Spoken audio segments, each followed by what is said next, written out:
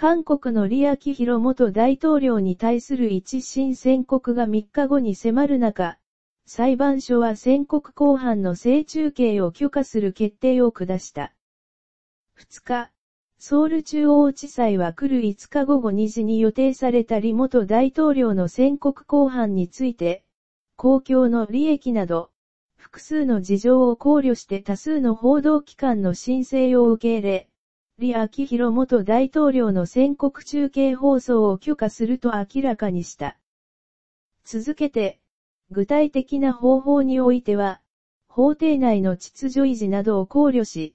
裁判所が撮影した映像を創出する手段を取ると説明した。これは、放送局のカメラではなく裁判所カメラが入り、法廷内を撮影する形式で中継されることを意味する。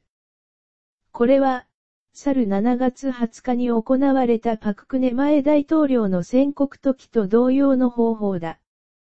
裁判所が正中継を許可したことで、